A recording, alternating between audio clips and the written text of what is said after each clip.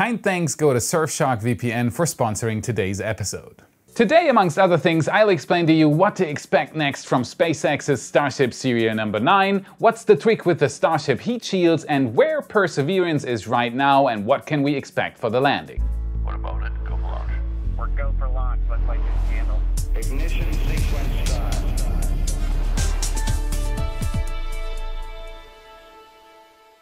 My name is Felix and I am your host for today's episode of What About It. And as always, there has been a lot going on in the space industry lately, so let's dive right in.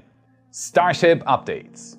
We're back and it feels good. 2020 was quite the year, and only 12 days into the new one, it's already shaping up to be even crazier. It feels like the whole space industry is being invigorated with a new sense of enthusiasm and creativity. And it's hard to grasp what SpaceX achieved in 2020 alone. Doug and Bob riding the Dragon to the ISS, Cargo Dragon getting a 50% storage increase, Starships taking flight three times even though there were many problems during the test campaigns. We've made a video to commemorate SpaceX's success in the past year showing the work of many who documented the history while it happened. Click the info box or the link in the description if you missed it. But can this success continue, or was it just a coincidence that all this happened in only one year? As said before, 2021 is 12 days old by now, and frankly, it seems like the space industry is driving to make it even crazier than the last year. When it comes to SpaceX, Boca Chica, Texas is gearing up for the next Starship flight right now. And it is going through its paces in preparation to repeat one of the greatest moments in recent spaceflight history. It's going for the second flight and it will try to improve on serial number 8. Serial number 9 is currently sitting on test pad B at the Boca Chica launch facility. Mauricio from RGV Aerial Photography took these pictures on his last flyby on January 1st. And if you're not a flight supporter yet, go check out his Patreon and Twitter for more information. Even though we're only 12 days into the new year, SpaceX has already performed an ambient pressure test on Starship Serial number 9, followed by a cryogenic pressure test and some very impressive RCS thruster tests. What can be pointed out here is that these RCS thruster firings overall look stronger compared to the tests done on Starship Serial number 8. It's unknown if SpaceX improved the system or if they are just putting Serial number 9 through a more vigorous test campaign. On January 6th, SpaceX then did a first static fire with their latest prototype. We're talking six days into the new year here.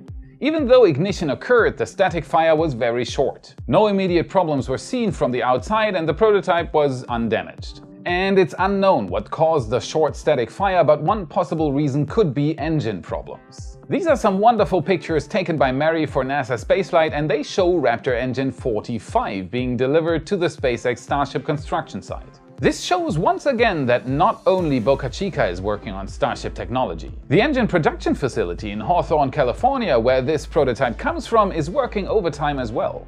Whereas on Starship serial number 8's 12.5 kilometer flight, Raptor engine 42 was the latest of the three engines to power the launch, SpaceX's engine department was already further along, constantly improving and iterating on the design. And here's another good picture to show SpaceX's progress. We're in Mauricio's plane again. Taken on January 1st, it shows the mid-bay where SpaceX currently assembles Starships. Inside the mid-bay, it shows Starship serial number 10 on the left and the beginnings of serial number 11 on the right. In front it also shows Starship serial number 6, which has been sitting there since it did the 150 meter hop. Where on January 1st, Starship serial number 10 was still just a tank section, it's fully assembled, including flaps on Mary's pictures taken only a few days later.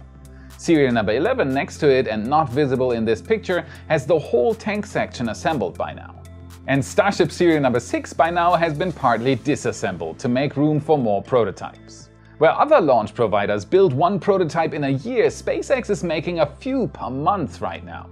It's mind-boggling to see and it's another indicator for how exciting 2021 will be. Here we can see Starship serial number 15's common dome skirt. It's the hull segment in the middle of the tank section. One thing in particular is very interesting about it.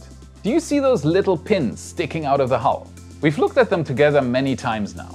Those of course are heat shield attachment pins and they can be found on serial number 9 as well. SpaceX's current solution for attaching heat tiles to Starship hulls which can also be seen in the picture and again in a different layout compared to previous prototypes. These heat tiles will be needed to shield the Starship from the tremendous heat in front of the Starship on re-entry since when returning from low Earth orbit, Starship will be initially traveling at about 7.8 kilometers per second, Mach 23 or 28,000 kilometers per hour.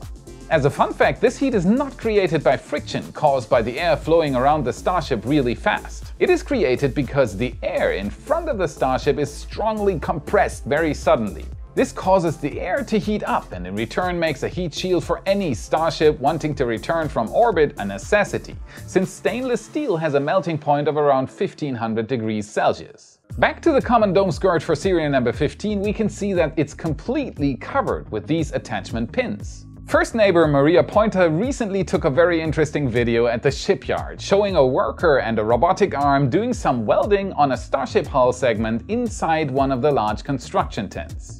The company producing these robotic arms is called KUKA and they are one of the world's leaders in this technology. And robotic welding is being done whenever human precision would not be enough and when a repeating task done over and over again is needed, such as for attaching thousands upon thousands of pins to a Starship hull. There's one problem though, stainless steel changes its density when welded. While being heated up it expands and after cooling down it contracts. It contracts even further down though than before the welding, as the atoms get closer together. This changes the property of the hull and makes welding difficult on a large scale. Remember the old days when starships looked like this? This is Starship Mark 1 and it has wrinkles and dents all over the hull. That is caused by welding. On serial number 9 though, the picture looks very different. A smooth hull with smaller dents and fewer wrinkles. This was achieved by reducing the number of welds needed. The rings are one piece now. The welds are much smaller. And if SpaceX now welds thousands of pins to the outside of the hull, they need to find a way to mitigate the deformation effect on the metal. That and testing the attachment and the tiles for strength are the reasons why we see different heat shield layouts on every single Starship prototype right now. And serial number 15 will test three rows of seven tiles each, with the last row being made of half tiles. Starship serial number 9 on the other hand is testing a larger area of tiles and the attachment pins on the upper two rings seem darker.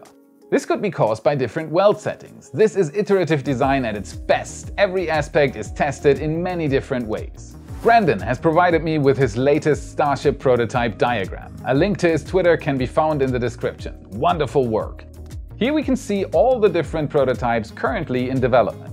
Serial number 9 with cryo tests and a first static fire done already. Serial number 10 freshly assembled and therefore shown in blue. Serial number 11 with only a little assembly work left to do. Serial number 12 largely done but still in separate segments. Then comes an odd break in the line. Serial number 13 and 14 seem to have halted progress. This might be an indicator that SpaceX has changed the design so much already that 13 and 14 as initially planned are not being continued. On the other hand, it could also be a sign that they are test tanks, as we've seen them before. Starship serial number 16 and 17 are progressing as well, and the booster right now seems to be on hold. On hold does not mean that there's no progress being made though. SpaceX still seems to be working on hull design. These pictures taken by Mary show booster development rings. Those are rings that are not meant for stacking but for testing different things like weld techniques or hull design. SpaceX still seems to be looking for something to continue the build of booster number 1. An important puzzle piece must be missing. Switching back into Mauricio's plane once more and to the launch site on January 1st, we can still see the aftermath of the Starship serial number 8 flight. By now most of it is gone though. The landing pad has been cleared and the serial number 8 nose cone is gone as well. Rest in pieces, serial number 8. Starship serial number 8 left quite the mark on the landing pad when it had its rapid unscheduled disassembly in December. SpaceX decided to cut the damaged part out.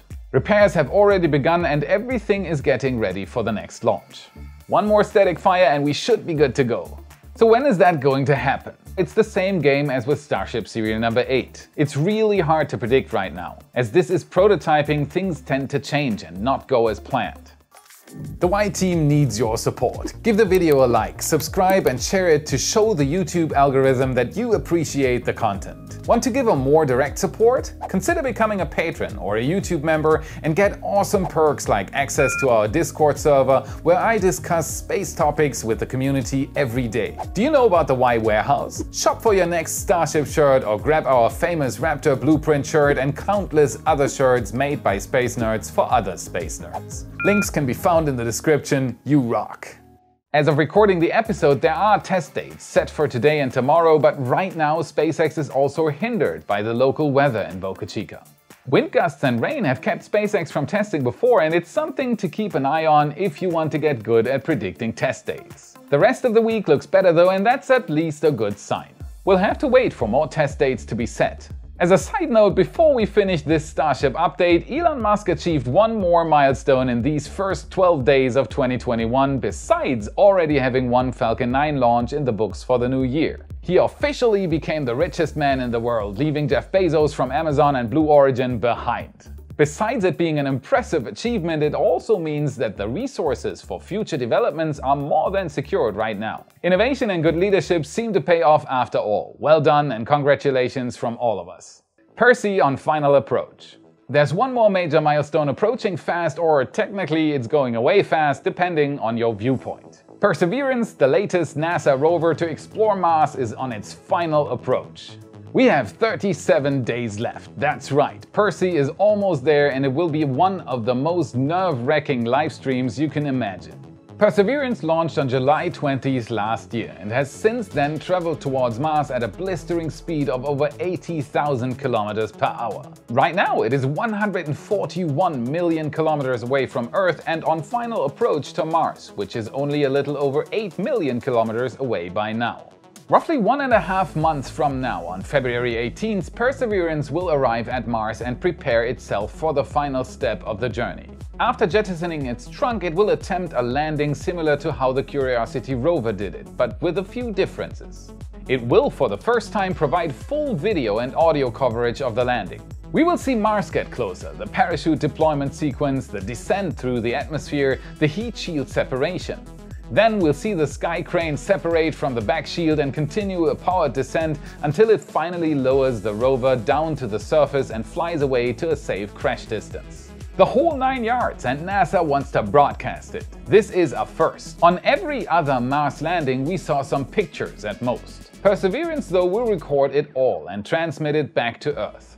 Of course with a communication delay between Perseverance and Earth of around 7 minutes at the time of landing. Due to the communication delay, the landing will have to be completely automated, and we won't know if it worked for those 7 minutes. Once the signal arrives on Earth though, it will be the first ever full recording of a spacecraft landing on another planet. Curiosity, for example, filmed only the last 2 minutes of its descent and only at 5 frames per second. Perseverance will provide a full HD recording of the full 7 minute re-entry and landing phase, including audio. That's gonna be amazing. Can't wait for it. On October 19th of last year, for example, Perseverance tested its audio equipment and recorded a 60 second audio clip of what it sounds like on the inside of the craft while traveling through deep space.